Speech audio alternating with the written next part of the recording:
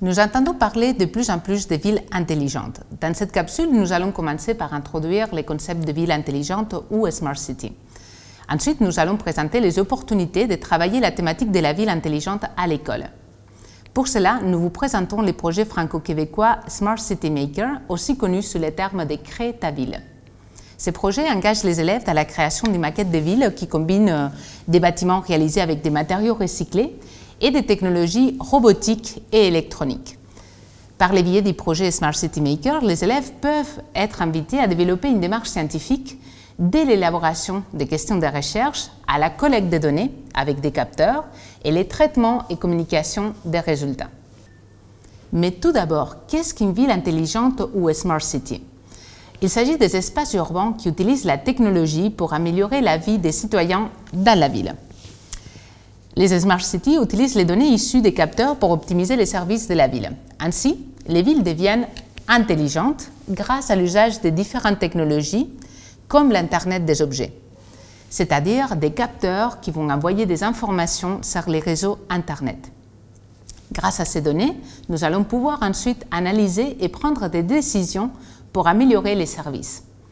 Avec les données des capteurs, nous pouvons par exemple capter l'usage des espaces urbains pour faire des économies d'énergie ou encore permettre de mieux sécuriser et gérer les transports dans la ville.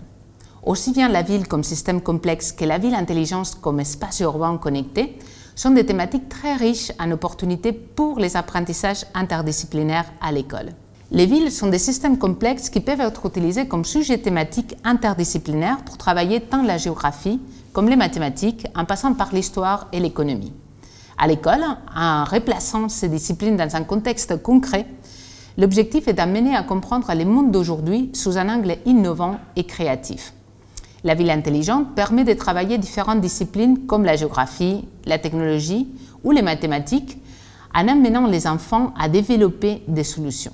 D'autre part, les villes sont devenues intelligentes grâce à l'usage de différentes technologies comme les objets connectés c'est-à-dire des capteurs qui vont envoyer des informations sur les réseaux Internet. Prenons par exemple ces capteurs de distance de Lego Widow qui va capter chaque fois que quelque chose passe devant et envoyer l'information à un programme informatique sur l'ordinateur. Dans les villes intelligentes, on retrouve de nombreux capteurs qui vont générer des grandes quantités de données ou big data. Ensuite, ces données sont agrégées et analysées pour prendre des décisions afin d'améliorer la vie des citoyens dans les villes dites intelligentes. Dans le cadre de cette série de capsules, nous vous présentons un exemple concret d'apprentissage de la démarche scientifique par les biais de la thématique de la ville intelligente, les projets Smart City Maker. Nous allons aborder la thématique de la ville intelligente à l'école de manière très concrète, à partir d'exemples du projet Smart City Maker que nous avons réalisé au Québec et en France métropolitaine et d'outre-mer. Les projets Smart City Maker engagent les élèves à construire des maquettes de villes intelligentes avec des matériaux recyclés, mais aussi à rendre la maquette intelligente en y intégrant également des technologies électroniques et robotiques. Il s'agit de modéliser et mettre à l'essai des solutions comme par exemple un éclairage intelligent qui va s'allumer quand les capteurs identifient la présence d'un objet ou un piéton. Par exemple, dans une démarche d'introduction à la recherche, nous pouvons engager la classe dans la question suivante. Comment limiter la pollution lumineuse? Ou dit autrement, comment optimiser l'éclairage de la ville? À partir de là, une solution qui pourrait être développée dans les cadres d'une activité avec les enfants est de n'allumer l'espace urbain qu'avec des capteurs de mouvement, c'est-à-dire de développer une solution pour allumer une lampe en passant devant, donc avec des capteurs. En développant des solutions, l'enfant va être amené à prendre position de façon originale face à des problèmes de société. Durant l'activité, il construit une démarche de recherche ainsi qu'un regard critique sur la ville. Les projets Smart City Maker permettent de travailler différentes disciplines comme la géographie, la technologie ou les mathématiques. Pour la construction de la maquette des villes à l'espace Lab de Québec, nous avons utilisé des matériaux comme les cartons avec des technologies robotiques comme les capteurs Lego Widow. Mais tout n'est pas toujours facile dans ce type de projet.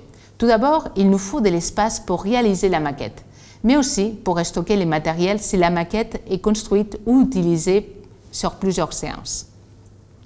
D'autre part, même si les projets peuvent être faits avec un seul enseignant, il est quand même plus intéressant quand les projets sont réalisés avec plusieurs enseignants des différentes disciplines ou encore entre plusieurs classes du même âge ou d'âge différents.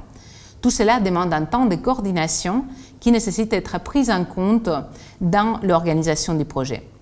Pour échanger autour des opportunités, mais aussi de s'entraider dans la réalisation d'un projet de création de maquettes de ville, nous disposons des étiquettes Smart City Maker et Crétaville qui vous permettront de trouver dans les réseaux sociaux d'autres enseignants travaillant sur des projets similaires.